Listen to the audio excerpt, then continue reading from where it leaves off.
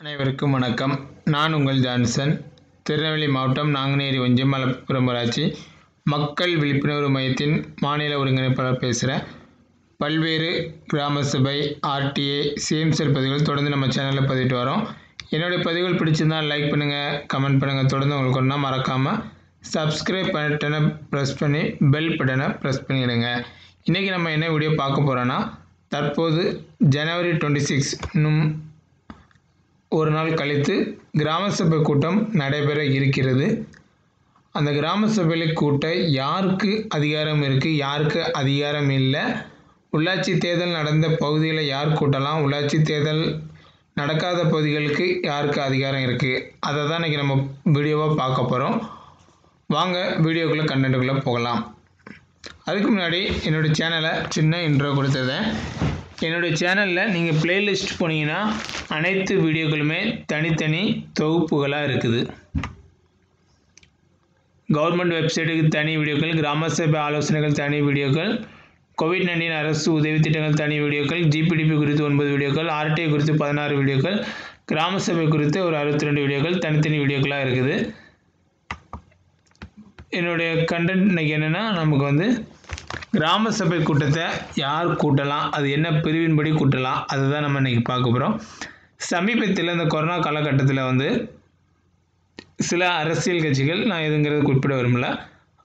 சில பகுதிகளில் கிராம சபைங்கிற பேரில் அவங்க வந்து மீட்டிங் அரசியல் மீட்டிங் பண்ணுறதுக்கு கிராம சபை பேரை சொல்லி கூட்டுறதுக்கு பிளான் பண்ணாங்க. அதை அரசு தடுக்கும் வகையில் ஒரு சுற்றறிப்பு வெளியிட்டாங்க. அதில் வந்து தெளிவாக குறிப்பிட்டிருக்காங்க. அதுதான் இப்போ நம்ம பார்க்க போகிறோம் இது ஏற்கனவே சட்டப்பிரிவுகள் இருக்குது. அதை குறிப்பிட்டு தான் இந்த கடிதத்தை வெளியிட்டிருக்காங்க. யார் வெளியிட்டிருக்காங்கன்னா நம்முடைய அரசு கூடுதல் தலைமை செயலாளர் ஹன்ஸ் ராஜ் வர்மா இந்திய ஆட்சிப் பணியாளர் ஊரக வளர்ச்சி மற்றும் ஊராட்சி துறை தலைமைச் செயலகம் சென்னை. கடித எண் நேர்முக கடித எண் பன்னிரெண்டு எண்ணூற்றி எண்பத்தி ரெண்டு பேரா டூ ரெண்டாயிரத்தி இருபது இருபத்தி நாலு பன்னிரெண்டு ரெண்டாயிரத்தி இருபதில் வெளியிட்டிருக்காங்க. யாருக்கு? அன் அன்பந்த திரு திருமதி எல்லாருக்கும் கீழே கலெக்டர்ஸ் பெருனர் போட்டிருக்காங்க. தமிழ்நாடு ஊராட்சிகள் சட்டம் ஆயிரத்தி தொள்ளாயிரத்தி தொண்ணூற்றி நாலின் படி ஒவ்வொரு கிராம ஊராட்சியிலும் பதினெட்டு வயது நிரம்பிய வாக்களிக்கும் உரிமை கொண்ட மக்களை உள்ளடக்கிய கிராம சபை அமைக்கப்பட்டுள்ளது. கிராம சபை தமிழ்நாடு ஊராட்சிகள் சட்டப்படி அமைக்கப்படும் ஒரு நிர்வாக அமைப்பாகும். இக்கிராம சபைகள் அவ்வூராட்சிகளின் செயல்பாடுகள் மற்றும் வளர்ச்சிப் பணிகள் குறித்து முடிவு செய்யும் அதிகாரம் பெற்றவை. கிராம சபைகள் செயல்படும் முறைகள் குறித்து விரிவான விதிமுறைகள் அரசால் வகுக்கப்பட்டு வெளியிடப்பட்டுள்ளது. ஆண்டுதோறும் குறைந்தபட்சம் நான்கு முறை அதாவது ஜனவரி டுவெண்ட்டி சிக்ஸ் மே ஒன்று ஆகஸ்ட் பதினஞ்சு மற்றும் அக்டோபர் ரெண்டு ஆகிய நாட்களில் அரசு வழிமுறைகளை நடத்த வெளியிட்டுள்ளது. உள்ளாட்சி நிர்வாகத்தில் மிக முக்கிய பங்காற்றும் கிராம சபைகள் ஊராக பகுதி மக்களின் குறைகளை கலைந்து கிராம முன்னேற்றம் காண வழிவகுக்கிறது இத்தகைய கிராம சபைகள் அரசியல் சார்பற்றவை. இது ஒரு முக்கியமான வேடு. இந்நிலையில் சில அரசியல் கட்சிகள் கிராம சபை என்ற பெயரில் அரசியல் ஆதாயம் தேடும் நோக்குடன் மக்களை குழப்புவதற்காக அரசியல் சார்ந்த பொதுக்கூட்டங்களை நடத்தி வருகின்றனர். இது ஊராட்சிகளின் சட்டத்திற்கு விதிமுறைகளுக்கு முரணானது மட்டும் அல்லாமல் இந்த அமைப்பு நடவடிக்கை இந்நடவடிக்கை கொச்சைப்படுத்துவதாக அமைந்துள்ளது. கிராம சபை என்பது அரசியலமைப்பு சட்டத்தால் உருவாக்கப்பட்ட ஒரு நிர்வாக அமைப்பாகும். மேற்படி ஊராட்சி சட்டத்தின்படி பிரிவு மூணு ரெண்டு ஏயின்படி கிராம சபையினை கூட்டும் அதிகாரம் ஊராட்சி தலைவருக்கு மட்டுமே உள்ளது. அவர் கிராம சபையினை கூட்ட தவறும் பட்சத்தில் ஊராட்சிகளின் ஆய்வாளர் மாவட்ட ஆட்சித்தலைவர் கிராம சபை கூட்டத்தை கூட்ட வேண்டும். எனவே மேற்படி சட்டத்தால் அதிகாரம் பெற்றவர்களை தவிர கிராம சபை கூட்டம் கூ என்ற பெயரில் தனி நபரோ அல்லது அரசியல் கட்சிகளோ கூட்டங்களை கூட்டுவது சட்டத்திற்கு எதிரானது. எனவே இச்சட்டத்தை மீறுவர்கள் சட்ட ரீதியாக நடவடிக்கை எடுக்க வழிவகை உள்ளன. தமிழ்நாடு ஊராட்சிகள் சட்டம் ஆயிரத்தி தொள்ளாயிரத்தி தொண்ணூற்றி நாலு கீழ் கிராம சபைகளை கூட்ட முடிவெடுக்கும் அதிகாரம் மக்களால் தேர்ந்தெடுக்கப்பட்ட கிராம ஊராட்சி மன்ற தலைவருக்கு மட்டுமே வழங்கப்பட்டுள்ள நிலையில் அரசியலில் ஆதாயம் தேடுவதற்காக கிராம சபை என்ற பெயரில் அரசியல் கட்சி அல்லது தனிநபர் கூட்டங்களை நடத்துவது பொதுமக்களை பெரும் குழப்பத்திற்கு உள்ளாக்கும் என்பதால் இத்தகைய நடவடிக்கைகளை மாவட்ட ஆட்சியர் அனுமதிக்கக்கூடாது என அறிவுறுத்தப்படுகிறார்கள்.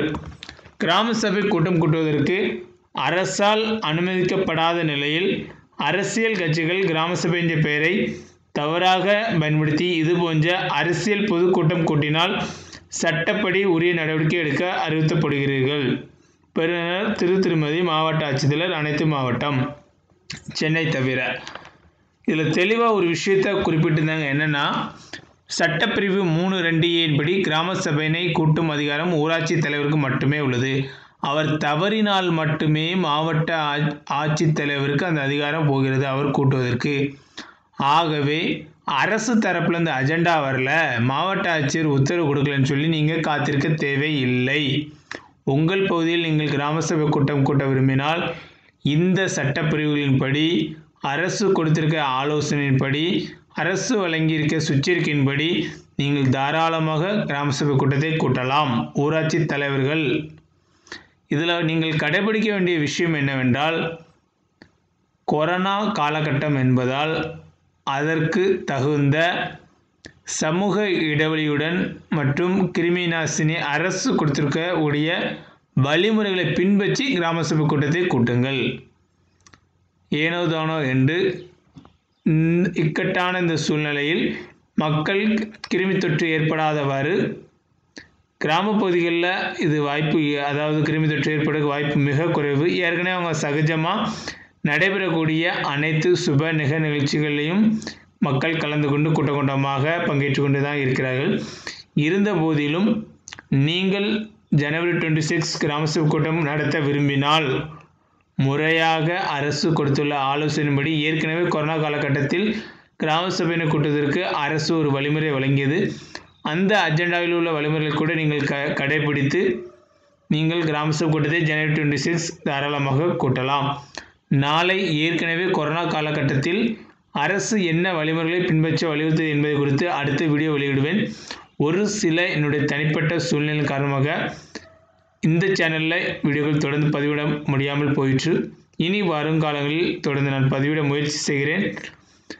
கிராம சபையில் இளைஞர்கள் வருகின்ற ஜனவரி டுவெண்ட்டி சிக்ஸ் பங்கேற்று உங்களுடைய கிராம வளர்ச்சிக்கு முக்கிய பொறுப்பு ஆற்றும்படி இந்த வீடியோவை பார்க்குற அனைவரும் உங்கள் தலைவர்களுக்கு ஊராட்சி தலைவருக்கு லிங்கை ஃபார்வர்ட் பண்ணி அவங்களை நடத்த வலியுறுத்துங்க. இந்த கடித நகல் இந்த வீடியோட டிஸ்கிரிப்ஷனில் இருக்கும். அடுத்த ஒரு நல்ல வீடியோவில் சந்திப்போம். நன்றி.